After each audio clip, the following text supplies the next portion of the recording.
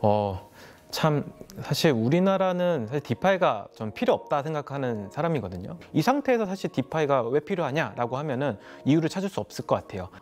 어, 그러다 보니 돈을 안 벌 수가 없죠. 왜냐하면 오늘 산 토큰이 가장 싼 토큰이 되는 진짜 말도 안 되는 시장이었기 때문에 하기 어렵다기보다는 어, 지속 가능하지 못한 시장은 와르르 무너지게 됐죠. 왜냐하면 거래 수수료만 진짜잖아요. 결국에는 이더리움 조각 투자 플랫폼이 나오게 된 거예요. 이게 LSD인 거예요? 그게 이제 LSD예요. 아. 경기가 좋아야지 다시 DeFi가 살아난다. 근데 경기가 이제 다시 도- 좋아지면 어떻게 보면 이더리움에 생긴 LSD라는 하나의 상품들이 매력적으로 될 시기도 오죠. 블록체인에서는 이게 처음 시도되는 거니까 사람들이 흥미를 많이 느껴서 거래를 많이 하는 거지. 근데 지금은 사실 신규 유저들이 들어오는 시장은 아니거든요.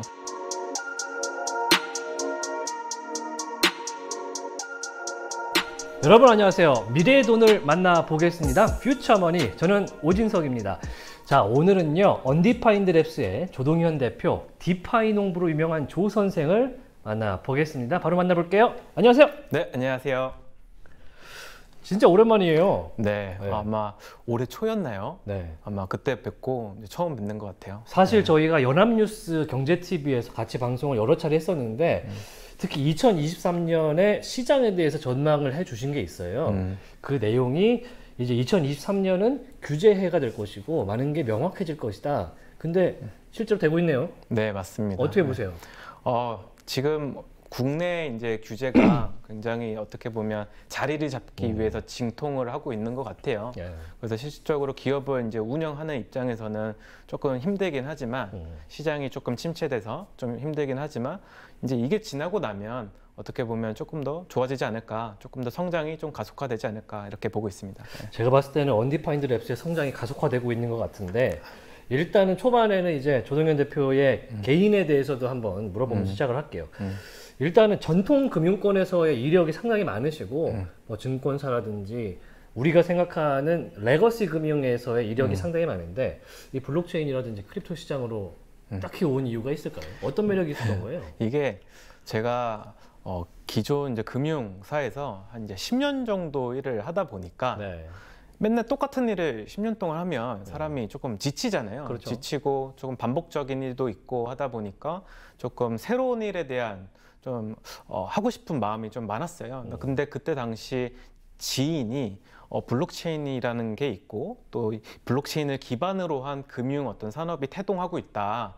그러니까 너가 이거를 영어로 된 어떤 문서를 읽어보고 자기한테 좀 알려달라라고 해서 제가 공부를 하기 시작했어요. 그 문서가 뭐였습니까? 그게 이제 디파이에 대한 어떤 이론이 나온 하나의 문서였습니다. 아, 아주 황금 문서를 그때 받았군요. 그렇죠. 그때가 이제 2020 이제 1년도 초반, 2020년도 말 정도로 기억하는데 굉장히 일렀네요. 엄청 일렀죠. 그래서 딱 읽어도 굉장히 이제 어, 내 안에 내용은 복잡하지 않은데 이 컨셉 자체가 굉장히 새로웠어요. 중앙화 금융이 아니라 탈중앙 금융이다. 여기부터 어. 조금 생소했고, 근데 이런 탈중앙화를 할 수 있는 것이 어떻게 보면 아, 사람이 간섭 못하는 하나의 뭐 하나의 smart contract이라는 계약으로 네. 다 될 수 있다. 뭐 이런 것들을 읽었더니 굉장히 센세이션했고 어, 혁신적이란 느껴갖고 어, 이거에 대해서 조금 더 공부하고 싶다 라고 한 다음에 한 3개월 정도 공부하다가 어떻게 보면 과감히 이제 퇴사를 결정하게 됐죠. 그때 퇴사한다고 했을 때 가족들이 안 뜯어 말리던가요? 어우 저는 뭐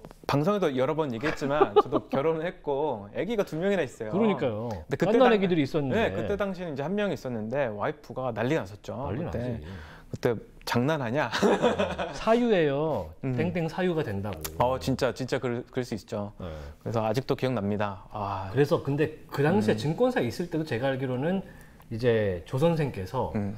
어, 대체금융을 담당했던 걸로 알고 있는데 그때 그 대체금융과 크립토는 다른 겁니까? 같은 겁니까? 음. 어, 어떻게 보면 저는 큰 맥락에서는 같다고 생각을 해요. 네. 결국 대체 투자라고 하는 게 네. 기존의 전통 어떤 상품들, 뭐 주식이나 채권 이외의 모든 상품들을 대체 투자 자산이라 칭하거든요. 네네. 근데 물론 이제 블록체인에 대한 디지털 자산 자체는 뭐 저희 어떤 어, 금융 그 금융 시장에서 뭐 아직은 금융 상품이 아니잖아요. 금융 자산도 아니고 음. 그렇기 때문에 거기 속하지 못하지만 이제 만약에 금융 자산으로서 디지, 디지털 자산이 인정받기 시작하면 대체 투자 어떤 섹터 안으로 들어갈 수 있는 거죠. 음. 예.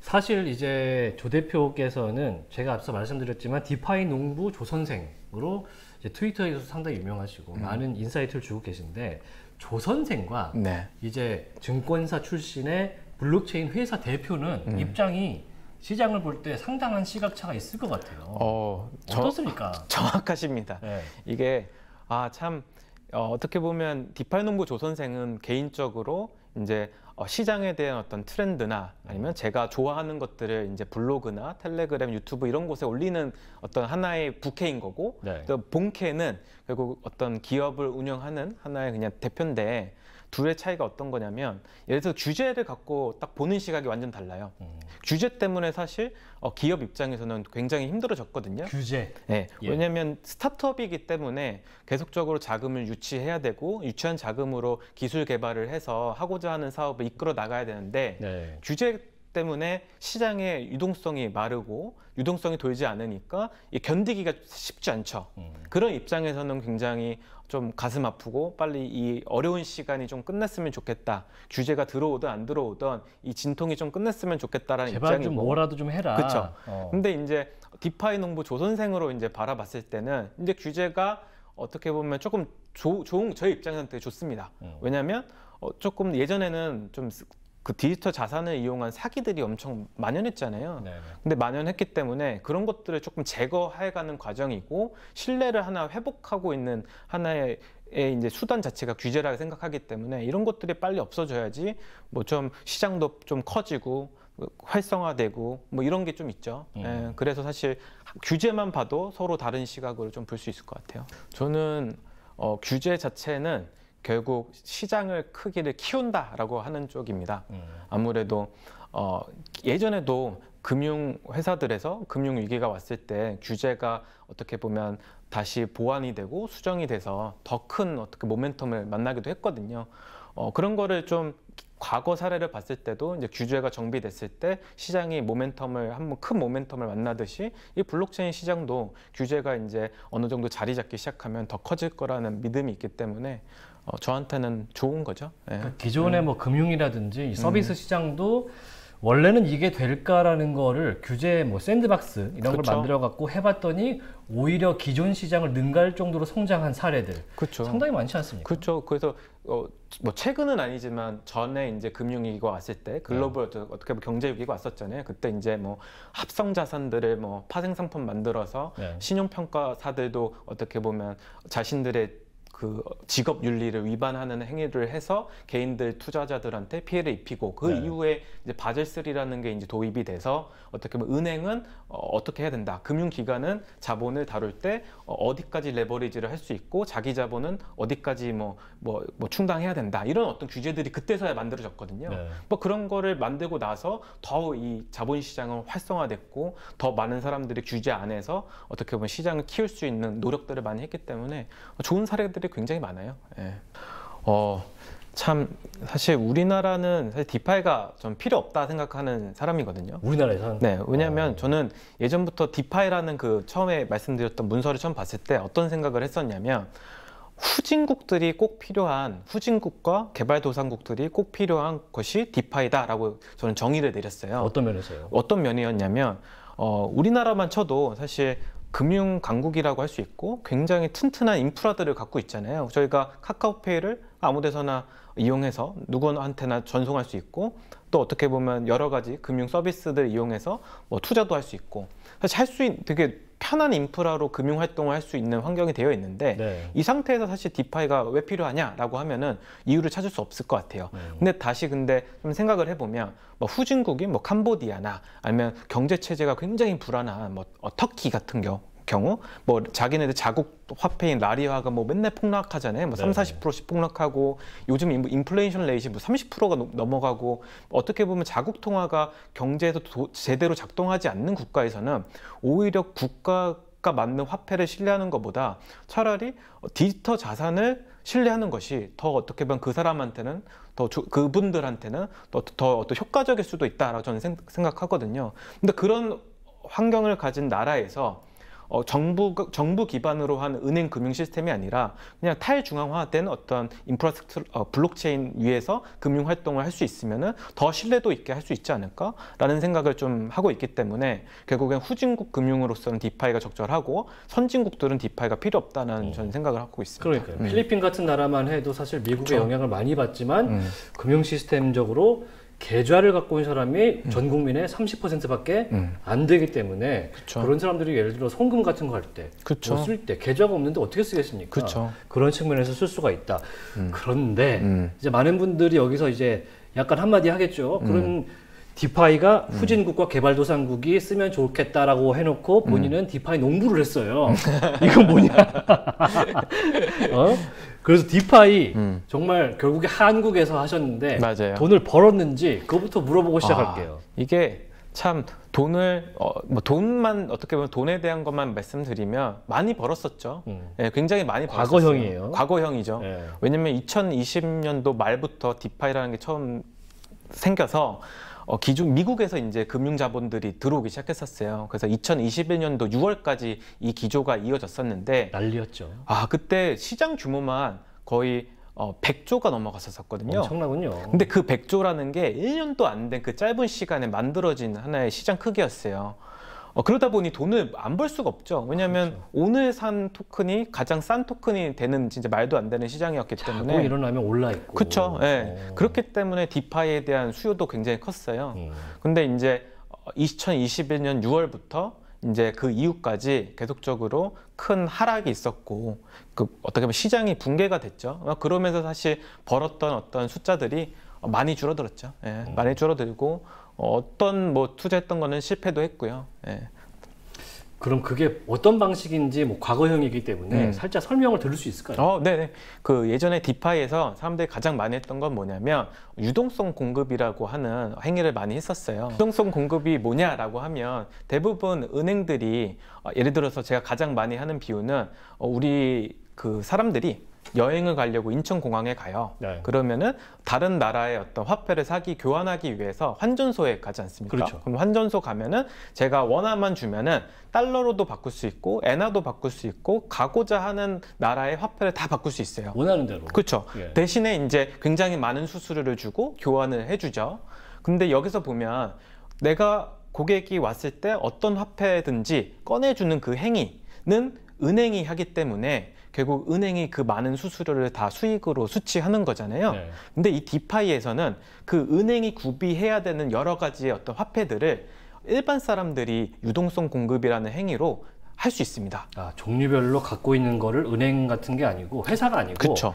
일반 사람들이 참여해서 난 이거 갖고 있다라고 그쵸. 해주는 게 그거라고요. 그렇죠. 금고에다가 어. 오픈형 금고에다가 누구는 비트코인 넣고 누구는 이더리움 넣고 어. 누구는 뭐 솔라나 넣고 뭐 등등등 수백 개 수천 개 되는 어떤 토큰과 코인들을 금고에다 넣어놓고 만약에 그, 그 환전소를 이용하는 고객이 만약에 거래를 일으켰다. 내가 만약 엔화를 넣어놨었는데 엔화와 원화를 교환해 갔다라고 하면 거기서 발생된 수수료를 어, 그, 그 서비스를 제공하는 플랫폼이 가져가는 게 아니라 그 유동성을 공급한 즉 화폐 토큰을 넣어준 사람한테 줬었어요. 그러니까 유동성 공급자한테 수수료를 주는 거. 그렇죠. 그러다 보니까 그 수수료가 생각보다 트랜잭션이 많이 일어나다 보니까 굉장히 쏠쏠했죠. 예. 얼마나 줬습니까 그때? 그때는 뭐 이- 이- 이- 그, 그때 당시 이제 단리라고 해서 그러니까 뭐 복리 단리 뭐 이렇게 하는데 결국에는 그 1년 기준으로 주는 어떤 수익률이 뭐 100%가 넘어가는 게 너- 많았으니까요. 어 진짜요? 예, 예, 예. 그럼 넣어놓으면은 사실 그 넣어놓는 것 자체가 이득인 거네요. 그쵸.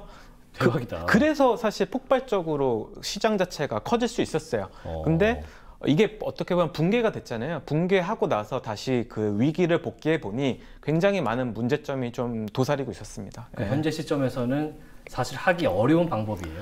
어, 하기 어렵다기보다는 어, 지속 가능하지 못한 아, 어, 어떻게 보면 어, 비즈니스라고 이제 생각이 드는 거죠. 어, 그러니까 순, 순간적으로 그러니까 짜 1년 내의 시간에는 뭐 어느 정도의 수수료를 주고 그리고 수익을 주면서까지 서로 교환하면서 이게 되는데 시장이 그쵸.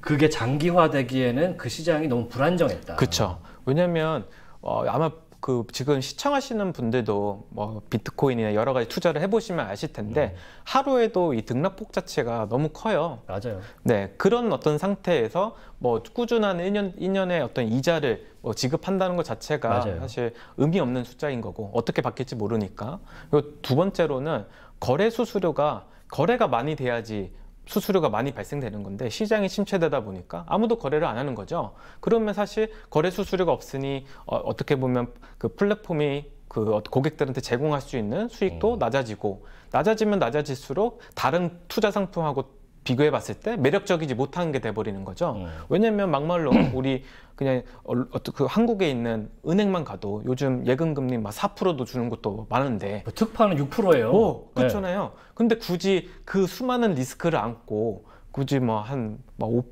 10%이 이자를 감내해야 되나라고 했을 때 굳이 소비자. 보호도 안 되고. 아, 그렇죠. 보호도 안 되고 언제 해킹 당할지도 모르고 사실 리스크 대비 리턴이 안 맞기 때문에 결국에는 들어왔던 유동성들이 지금 다 빠져나가고 있는 거죠. 예. 그 시장이 지금 침몰한 상태인데 사실 결정적인 순간을 맞이했기 때문에 침몰한 걸로 제가 알고 있어요. 그래서 음. 사실은 예전에 crypto 시장은 수요와 공급이 만나서 음. 매도와 매수를 통해서 이루어지는 그냥 단순히 매매로 돈을 버는 시장이었는데 DeFi가 새로운 부를 창조한 거였잖아요. 이게 굉장히 차세대 금융 네, 맞아요. 이렇게 봤는데 왜 날라갔어요? 왜 날라갔냐면 결국에는 탐욕 때문에 망가진 아. 시장이죠. 그게 문제가니까요. 어, 왜냐하면 예전에는 말씀하신 대로 뭐 비트코인이나 이더리움이나 어, 코인과 토큰의 종류가 많지도 않았고 서로 이제 토, 서로 다른 토큰을 이제 교환하는 매개체들이 대부분 이제 어, 그 중앙화 거래소에서 이루어졌었어요. 네. 근데 이제 탈중앙화 이제 어떻게 보면 금융이 이제 생기고 난 후에는 누구나 참여할 수 있는 장점이 있지만 그 말은 누구나 또 발행할 수 있고 교환하게 할 수 있는 편리함을 줬더니 사람들이 그거를 활용해서 굉장히 많은 어, 사기성이 짙은 코인을 막 발행하기 시작했고요. 그러니까요. 너도 나도 다른 사람들의 고객을 유치하기 위해서 조금씩 더 이자를 주겠다라는 어떤 달콤한 말로 고객을 유치하기 시작했었어요. 음. 처음에는 거래 수수료만 줄게라고 시작을 했다가 얘가 거래 수수료만 주는데 이 사람들의 사용자를 뺏어 오려고 거래 수수료 플러스 뭘 하나 더 줄게. 그랬더니 이제 또 다른 사람은 얘네가 주는 것보다 더 줄게. 이게 결국에는 계속 쌓이고 쌓이고 쌓이다가 결국 투자자와 투자자들의 탐욕과 그리고 플랫폼을 만든 사람의 탐욕이 만나서 이제 시장은 와르르 무너지게 됐죠. 음. 왜냐하면 거래 수수료만 진짜잖아요. 나머지 부가적인 수익은 다 가짜였거든요. 허상이죠. 허상이죠. 자기들이 만든 네, 거니까. 의미가 없는 거잖아요. 어. 서비스를 준 대가로 받는 수익이 아니라 그냥 자신들이 찍어낸 토큰으로 그 가치를 매겨서 어, 주는 거였잖아요. 그러다 보니까 근데 이런 것들이 너무 많아지다 보니까 이제 시장이 우르르르 이제 무너지기 시작한 거죠. 이제 2023년 중반기 음. 갑자기 또 디파이라는 단어가 저희 블록 미디어 음. 기사창에 다시 올라오기 시작합니다. 그게 바로 LS 디파인데 네. 요거 요즘 궁금해 하시는 분들 많아요. 네. 요거 대체 좀 돈이 되냐? 솔직히 아. 말해서 네. 이게 뭡니까? 어떤 게 차이가 좀 있는 거예요? 아 이게 사실 아까 DeFi라는 것이 무너졌던 게 결국에는 어 진짜 수익과 가짜 수익이 있었다. 근데 가짜 수익이 어, 너무 커지다 보니까 결국에는 견디지 못하고 무너졌다. 시장이 이렇게 좀 설명을 드렸는데요. 네. 어, 좀 생각을 해보면 결국 그 진짜 수익이 그러면 DeFi에서 좀 만들어지냐 요걸 좀 봐야 돼요. 근데 음. LSD는 쉽게 얘기해서 Ethereum 네트워크가 있고 그 네트워크에서 어떤 거래를 검증하는 사람들이 있습니다. 그 거, 거래를 검증하는 대가로 그 사람들은 Ethereum을 또 수취를 해요. 네. 왜냐면 서비스를 제공했으니까 그에 따른 대가인 수익을 또 받아야 되잖아요. 여기까지는 네. 익숙한 컨셉이에요. 네, 이- 예, 그런 어떤 구조로 되어 있었는데 이게 Ethereum 네트워크가 POW라고 하는 작업 증명에서 POS라고 하는 지분 증명으로 어떻게 보면 검증하는 기술에 변화가 생겼어요. 채굴에서 일정량 갖고 있어야 검증에 그쵸. 참여할 수 있는 네, 그 거군요. 32개의 Ethereum을 예치해야지만은 어, validator, 즉 그 Ethereum에서 올라오는 transaction을 검증할 수 있는 사람으로서 역할을 하고 음. 수익을 벌어갈 수 있거든요. 근데 어, 어떤 한 업체가 32개의 Ethereum을 갖고 validation 하는 행위 자체가 굉장히 진입 장벽이 높다라고 생각을 한 거예요. 6천만 원이 넘으니까요. 그렇죠. 뭐 어떻게 보면 Ethereum 네트워크에서 검증자로 활동하려면 기본적으로 자본이 6천만 원 이상이 있어야지만 어. 할수 있다 보니까 네. 그 사람이 생각했던 컨셉은 뭐냐면 아니 조각 투자 플랫폼을 만들어서 음. 32개씩 뭉치를 만들어 가지고 어, 오- 그 검증자들한테 어떻게 보면 무상 대출해주면 수익 배분을 전, 전제로 한 어, 대출을 해주면 그러면 서로 윈윈 아닌가라는 생각을 처음으로 한 거죠. 그러니까 조각 투자처럼 32개를 만들기 위해서 뭐 나 0.5개, 음. 여기는 몇, 한개 개, 이렇게 뭐. 해갖고 한 개, 뭐 1.5개, 1.23개 이렇게 음. 해갖고 32개를 드래곤볼을 모으면 그쵸. 이거를 검증자로 단체로 참여를 하면 그쵸. 거기서 나오는 수익을 분배를 해주는 그쵸. 프로토콜이다. 그렇죠. 결국에는 이더리움 조각 투자 플랫폼이 나오게 된 거예요. 그게 LSD인 거예요? 그게 이제 LSD예요. 아 그렇군요. 네. 간단하네. 간단해요. 결국 이더리움 네트워크에서 그 검증 행위를 하기 위해 필요한 최소 어떤 자본 요건 음. 그것을 혼자 채우기는 너무 어려우니 음. 여러 명이 이제 자금을 조달해서 채워주고 또 그 validation 사업을 하는 사람은 한 개 노드만 운영해서는 수익이 나는 게 한정적이잖아요. 그렇죠. 이거를 사실 수백 개, 수천 개를 돌리면 결과적으로 자기 수익이 극대화되니까 결국에는 결국 어떻게 보면 어, 그 retailer부터 자금을 조달해서 validation 해서 수익을 벌고 그 수익의 일부를 어, 어, 그 투자자들한테 돌려주는 하나의 행위. 그 사업에 어떤 투자하는 행위를 하고 있는 거죠. 그러면 이게 어떻게 수익을 분배하는 구조까지 가는 건지. 아, 예를 들어서 서른 뭐 서른 두 명이 한개 이더리움을 예치를 하면요. 네. 그러면은 그 한개 노드에서 발생하는 어, 이자, 음. 그 이자라고 표현을 하는 그 이자가 한 5% 정도 됩니다. 음. 지금은 조금 낮아졌지만 어쨌든 간에 한 5% 정도가 돼요. 시장 평균적으로. 그럼 그 5%를 어, 그 사람들한테 대부분 주는 거죠. 음. 그리고 자신은 결국에는 운영했던 운영 수수료만 제외하고. 근데 이 컨셉이 펀드랑 똑같습니다. 그러네요. 네. 그 사람들 똑같아요. 모아서 포트폴리오 구성해갖고 이거 할 사람 손들어 이렇게 그쵸. 갖고 돈 받아서 돌려서 네. 나오면 우리 수수료 먹고. 네, 그렇죠. 여기서 아마 보시는 분들 중에 자기 이제 퇴직연금을 네. 어 무슨 어떤 배터리 펀드 뭐 혹은 뭐 전기차 뭐 펀드 요즘은 뭐 펀드 이름도 되게 다양하게 나오잖아요. 하나- 길어요 그리고. 하나의 뭐 섹터를 잡아서 네. 컨셉을 잡아서 그 산업에 투자하는 펀드들이 나오잖아요. 그러면 어떻게 보면 retail 투자자들이 자금을 모아서 펀드를 모아서 그거를 기업들한테 투자를 하고 기업들이 이제 실질적으로 벌어들인 수익을 배분하잖아요. 음. 운용 보수를 제외하고 똑같습니다. 어. 네. 그러면 이게 일종의 예전에 우리가 생각했던 유동성을 공급해서 거기서 수수료를 얻고 수익을 다시 돌려서 받는 음. 이런 컨셉의 DeFi는 아닌 것 같고 음. 이름만 비슷한데 다른 거네요. 그렇죠. 어. 결국에는 어, 이 행위 자체가 근데 뭐 Ethereum 기반으로 일어나고 있고 예. 결국에는 어, 이자를 주고받는 어떤 그 매개체가 결국 Ethereum 코인이다 보니까 예. 결국에는 DeFi 속에 속하는 하나의 섹터로 어, 커지고 있는 상태예요. 예. 그러면은 기존의 DeFi와 좀 형태를 달리하고 사실상 다르고 다르죠. 예. 그리고 오히려 그 legacy의 파생 상품이나 펀드에 가까운 형태로 운용이 되는데 그렇죠. 그런데 아까 수익률을 잠깐 들어보니까 4에서 5%인데 맞아요. 그럼 기존에 우리가 알고 있는 은행 가서 적금 예금하는 거랑 별 차이가 없네. 또 이렇게 되잖아요. 맞아요. 별 차이가 경쟁력이 없어요. 없어 보이기도 한데. 네, 이게 너무 정확한 표현이에요. 예. 왜냐하면 경쟁력이 없는 게 맞고요. 그래서 자꾸 제가 얘기하는 거는 경기가 좋아야지 다시 디파이가 살아난다. 왜 상대적인 거잖아요. 음. 지금은 경제가 불안하다 보니까 어떻게 현금이 굉장히 귀한 시장이고 그러다 보니까 은행들도 되게 높은 금리를 제시하는 거잖아요. 네. 근데 우리가 1년 전만 해도 생각해 보면 금리가 굉장히 쌌거든요. 네. 뭐 1, 2% 했고 사실 뭐 적금을 들어도 뭐 2, 3%밖에 못 받는 되게 어려운 시장에서 이렇게 변한 거잖아요. 하나 많아였죠. 아, 그렇죠. 근데 경기가 이제 다시 도- 좋아지면 어떻게 보면 이더리움에 생긴 LSD라는 하나의 상품들이 매력적으로 될 시기도 오죠. 음, 예. 그렇군요. 이게 좀 기다려봐야 되고 오히려 이제 시작되는 단계의 형태의 이제 금융 서비스다 보니까 음, 조금 어떤 측면에서 수익률을 좀 더 개선할 수 있는지에 대한 연구도 나오겠죠. 맞죠. 어. 그리고 더 나아가서는 이 검증하는 행위를 어, 이더리움 검증에서 끝내는 게 아니라 이 검증자들을 데리고 다른 서비스들을 검증하는 하나의 매개체로 쓰면 그리고 거기서 수익을 발생된 것들을 어, 밸리, 밸리데이터들한테 제공하면 지금보다 더 높은 수익을 제공할 수 있지 않을까라고 해서 수많은 프로젝트들이 연구를 하고 있는 상태예요. 음. 한 가지 예를 그냥 쉬운 예를 말씀드리면 어, 예를 들어서 한국과 일본이 어, 축구 경기를 했습니다. 아 중요해요. 아, 중요하죠. 그래서 한국이 5대 0으로 이겼습니다. 아, 좋아요. 근데 이제 블록체인에서 한국이 한국이 이기면 예를 들어서 뭐 100만 원을 주는 어떤 행사를 하고 있었어요. 그러면은 그 행사 행사를 주최한 사람은 어 그 한국과 일본 그 축구 경기 결과를 블록체인 위로 갖고 와야지만 음. 사실 smart contract이라는 것을 통해서 어, 그 자기네들이 걸었던 상품을 사람들한테 나눠줄 수 있거든요. 그렇죠. 기계적으로. 그러면 그때 이 한국과 일본의 경기가 뭐 5대 0으로 한국이 이겼다라고 하는 그 사실을 블록체인으로 갖고 오기 위해서는 수많은 검증자들이 필요하거든요. 음. 이게 한 사람이 이게 맞다라고 인정해서 블록체인에 올릴 수 있는 게 아니에요.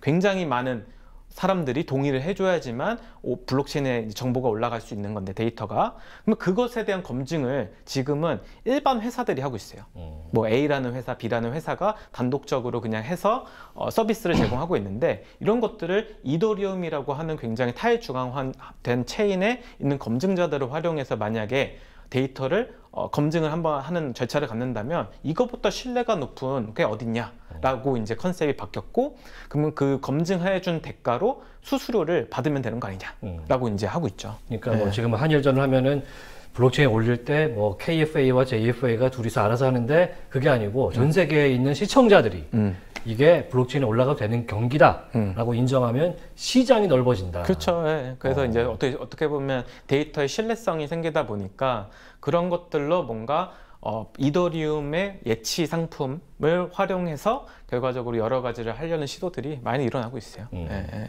근데 이제 뭐 얘기는 좋긴 한데 제가 걱정했던 것처럼 수수료라든지 경쟁력이 기존의 금융하고 미약하다 보니까 맞아요. 이대로 사라지면 어떡하나라는 걱정도 드는데 제가 알기로는 이제 뭐 조선생께서 뭐 이 LSD5 관련된 회사 팬들 팬들이라는 곳에 뭐 뭘 하고 있다 음, 음. 자문을 하고 있는 걸로 아는데 이런 회사들이 요새 경쟁력이 있는 회사로 크고 있는지 그것도 한번 아. 궁금합니다. 어, 말씀 주신 그 팬들이라는 그 회사는 어, 파생 상품을 만드는 회사예요. 음, 근데 사실 팬들이 처음 나온 거는 2021년도에 나왔었고 음. 어, 굉장히 큰 모멘텀을 한번 가졌다가 아, 망한 회사였습니다. 사라졌었군요. 아, 왜냐면은 그때 당시 컨셉이 뭐였냐면 지금처럼 이더리움을 예치를 하고 그럼 예치한 예금 증서를 갖고 오면 네. 그 예금 증서를 이자를 받는 권리와 그다음에 투자 원금을 받는 권리를 나눠 가지고 거래할 수 있도록 만들어줬어요. 음. 결국 채권화를 시키는 하나의 프로, 프로젝트였어요. 그거 약간 legacy 스타일로 한 그렇죠. 거네요. 예. 어떻게 보면은 legacy에서도 국채가 10년짜리 물이 발행이 되면 거기서 나오는 이자를 따로 거래도 가능하고요. 그걸 상품화해서 그 투, 예. 투자 원금을 또 거래하는 시장이 또 따로 있거든요. 예. 결국에는 그런 어떤 파생 상품을 똑같은 컨셉을 차용해서 갖고 왔었었는데 그때 당시에는 그런 거를 채권화 할 수 있는 자산들이 없었어요. 음. 왜냐하면 이더리움도 그때 당시는 작업 증명이었고 사실 지금의 LSD 시장이 열린 지가 얼마 안 됐거든요. 네. 그러다 보니까 그 사람들이 개발한 컨셉과 이런 것들을 적용할 수 있는 토큰들이 없었어요. 음. 근데 이 LSD 시장이 생기고 나서 찰떡인 거죠. 서로. 음. 어? 뭔가 사람들이 장기적으로 예치를 하고 그 예치한 것으로부터 5%의 수익을 수취하는 지금 활동이 굉장히 활발한데 또 어떤 사람들은 장기적으로 예치하기보다는 그냥 어떻게 보면 유동성이 필요할 수 있잖아요. 그러니까 나는 이자에 대한 권리를 빨리 어, 사람들한테 디스- 디스카운트해서 매도를 하고 자기는 조금 현금을 확보하고 싶다. 이런 어떤 needs들이 이제 많이 생기는 시장이 되다 보니까 팬들이라는 이제 회사가 굉장히 모멘텀을 맞이, 맞이했죠. 굉장히 주목을 받고 있는 상태긴 합니다. 그 기존의 디파이 시장에서는 접목하기가 힘들었던 컨셉의 이제 서비스 상품이었는데 이게 LSD 파이 시대로 오다 보니까 보니까 찰떡이네. 찰떡이죠. 지금 되게 흥행 몰이를 하고 있다. 그렇죠. 예. 근데 이것도 사실 뭐 지켜보긴 해야 된다는 게. 제 입장이긴 네. 합니다.